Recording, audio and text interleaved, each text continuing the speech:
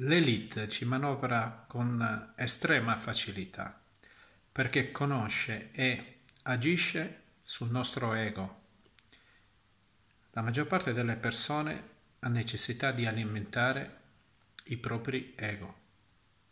Ecco perché, vi faccio un esempio, se un post parla di un suicidio, di una persona che si spara in testa, può raggiungere e superare 30.000 visualizzazioni ma un post dove vi, vi viene svelata la verità, dove non c'è quindi il trauma, dove non ci sono informazioni forti e dove magari vi si propongono delle soluzioni, se va bene raggiungono 500, raggiunge 500 visualizzazioni.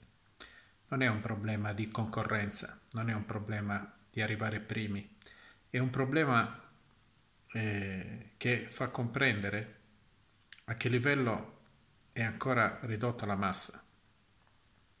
Ecco perché ci vuole poco ad essere distratta. Non a caso i media sono gestiti per manovrare le vostre menti, non fanno informazione, fanno manipolazione delle vostre menti, o meglio delle menti di coloro che ancora oggi guardano la tv, ascoltano la radio e leggono i giornali.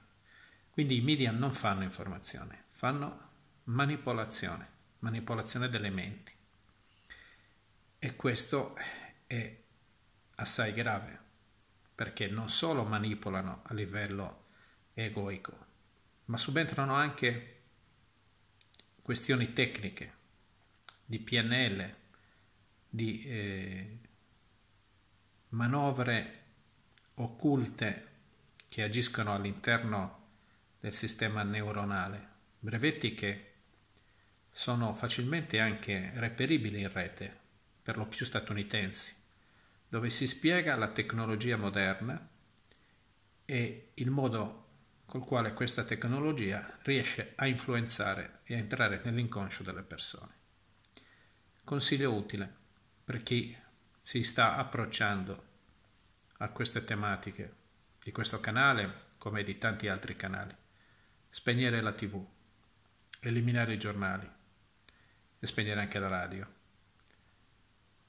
È meglio dedicare il proprio tempo al ragionamento logico e ascoltare la musica della propria coscienza, che decisamente preferibile a qualunque altro speaker radio-televisivo e anche molto, ma molto più da raccontarvi.